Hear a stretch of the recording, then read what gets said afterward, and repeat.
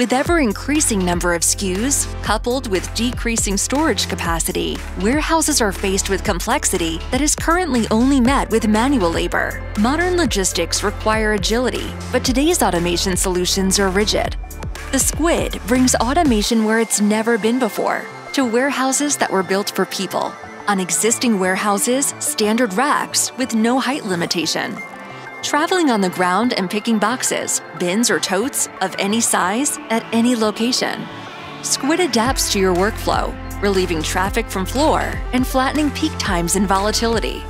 With Squid, warehouse managers can cut costs, increase storage space, and receive all the benefits of automation without making any changes to their existing operations. From the largest facilities to the smallest ones, a fleet of squids can handle all picking and replenishment of boxes, saving your staff hours from walking, storing, and retrieving items. The boxes can be delivered to a station, conveyor belt, or any other arrangement. Implementing Squid is simple and takes days with almost no capex investment and no disruption to operations.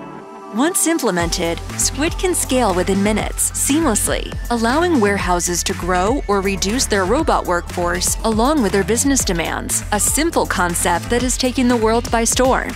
More and more warehousing and manufacturing facilities are saying no to automation that requires new infrastructure, dedicated racks, and huge capital investment, while imposing limits on height, on what it can pick, and where it delivers. Squid removes the barriers to automation that left 80% of warehouses dependent on manual labor. BionicHIVE, the next generation of warehouse automation.